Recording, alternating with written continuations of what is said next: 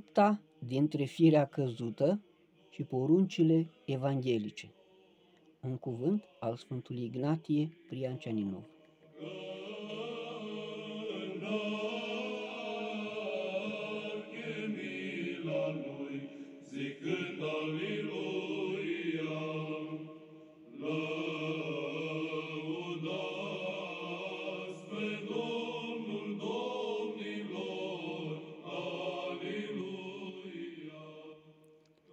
Dacă te lepezi și te vei lepăda neîncetat de propriile tale păreri, de propria ta voie, de propria ta dreptate sau ceea ce este același lucru, de cunoștința, voia și dreptatea firii căzute, pentru a sădi în tine cunoștința lui Dumnezeu, voia lui Dumnezeu și dreptatea lui Dumnezeu, ce ne sunt date în Sfânta Evanghelie de însuși Dumnezeu, atunci firea căzută va porni în lăuntru tău o luptă cruntă împotriva Evangheliei, împotriva lui Dumnezeu.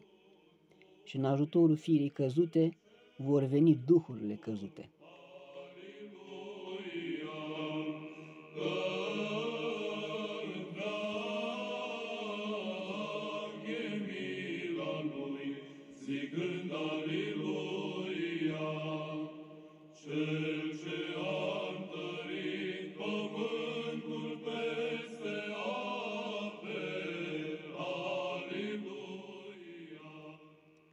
Să nu cazi în deznădejde din această pricină. Dovedește prin tăria în luptă, temeinicia și neprihănirea voii tale. Ai căzut? Ridică-te. Ai fost înșelat și dezarmat? Înarmează-te din nou. Ai fost învins? Ridică-te iarăși la luptă. Îți este foarte folositor să vezi în tine însuți atât propria ta cădere, cât și căderea întregii omeniri. Este lucru de căpetenie să cunoști și să cercetezi această cădere prin propriile tale trăiri, prin încercările inimii și minții tale. Este lucru de căpetenie să vezi neputința minții tale, neputința voinței tale.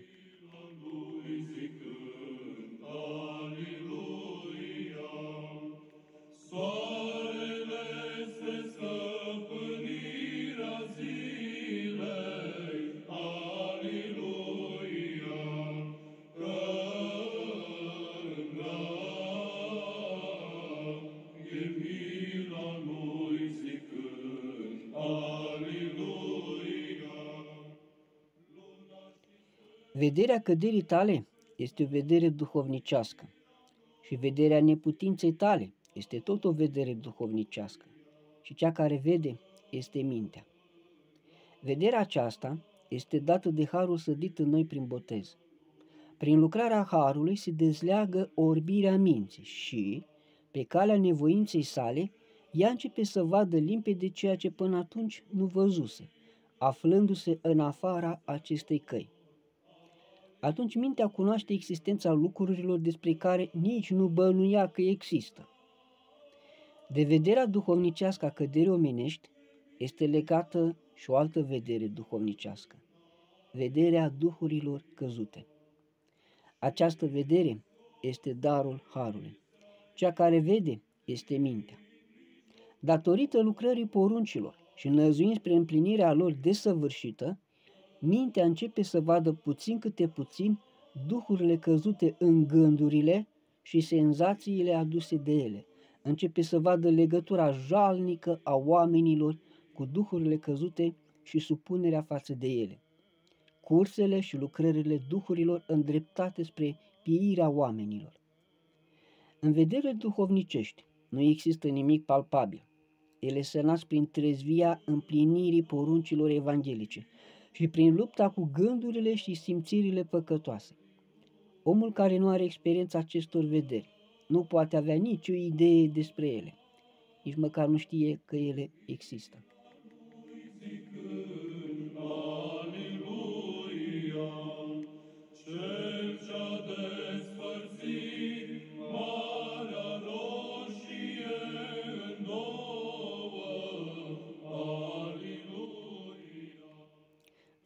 Datorită lucrării poruncilor și năzuind spre împlinirea lor desăvârșită, mintea începe să vadă puțin câte puțin duhurile căzute în gândurile și senzațiile aduse de ele.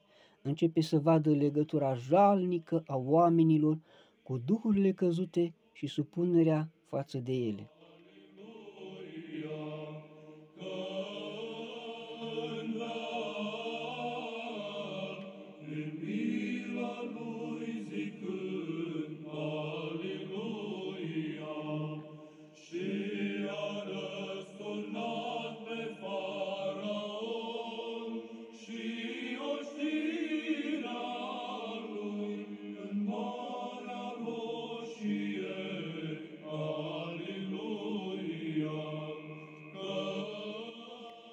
Sfântul Apostol Iacov cere neapărat fapte bune. El învață cum că credința fără fapte este moartă. Cercetați ce anume cere Sfântul Apostol Iacov. Veți vedea că el cere, la fel ca toți scriitorii de Dumnezeu insuflați ai Sfintei Scripturi, faptele credinței, nu faptele bune ale firii noastre căzute.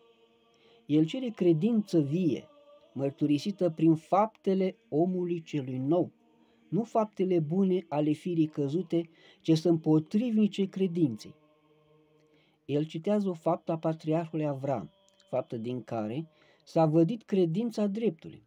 Este vorba de aducere ca jertfă lui Dumnezeu a propriului fiu unul născut. A fiul ca să-l jertfești nu este nici de cum o faptă bună potrivit firii omenești. Aceasta este o faptă bună ca împlinire a poruncii lui Dumnezeu, ca faptă a credinței. Uitați-vă bine în Noul Testament și îndeopște în toată Sfânta Scriptură. Veți găsi că acestea, aceasta, cere împlinirea poruncilor lui Dumnezeu, că această împlinire este numită fapte, că în urma acestei împliniri a poruncilor lui Dumnezeu, credința în El devine vie fiind lucrătoare. Fără aceasta, ea este moartă, fiind lipsită de orice mișcare. Și, din potrivă, veți găsi că faptele bune ale firii căzute, care vin din simțul, din sânge, din pornirile și simțămintele gingașe ale inimii, sunt oprite și lepădate.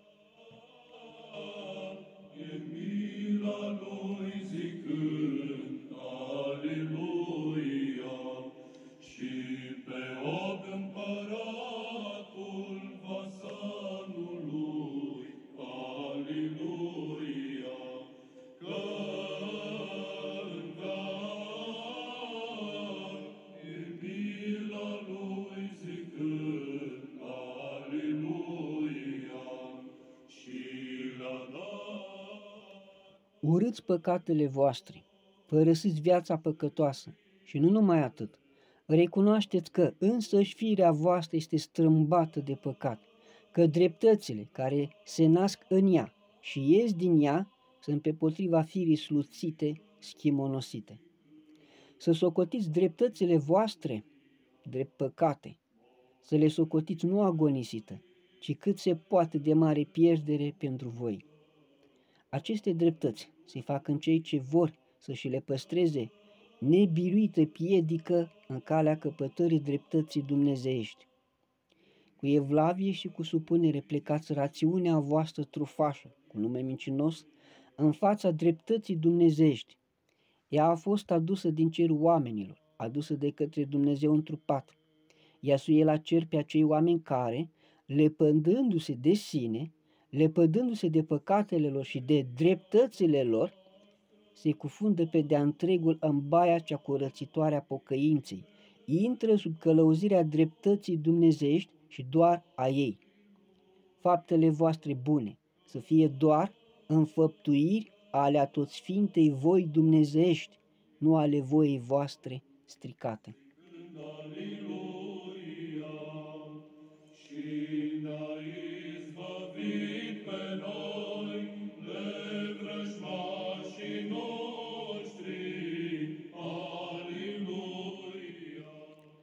Faptele voastre bune să fie doar înfăptuiri ale atotșfintei voi dumnezeiești, nu ale voii voastre stricate.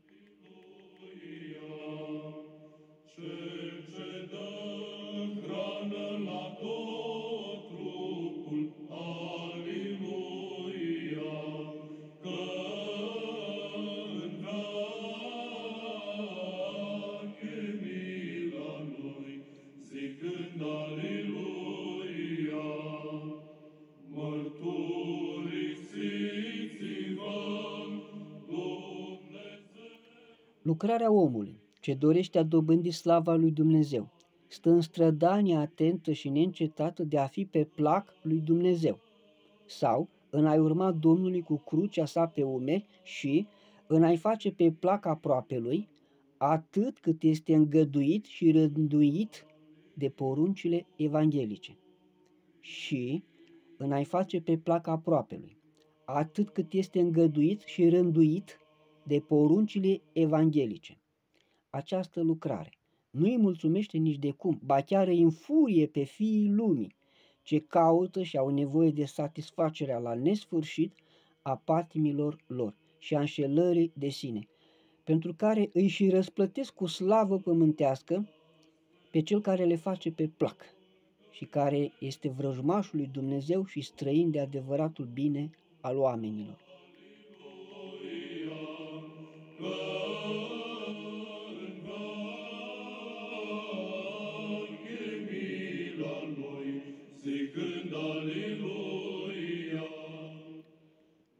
Lucrarea omului, ce dorește a dobândi slava lui Dumnezeu, stă în strădania atentă și neîncetată de a fi pe placul lui Dumnezeu sau în a-i urma Domnului cu crucea sa pe umeri și în a-i face pe plac aproapelui atât cât este îngăduit și rânduit de poruncile evanghelice.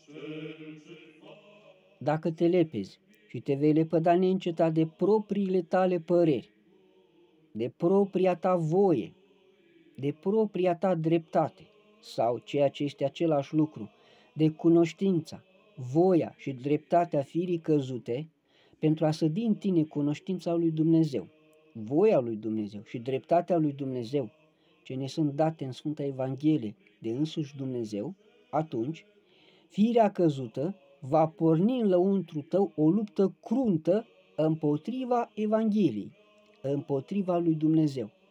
Și în ajutorul firii căzute vor veni duhurile căzute. Cel ce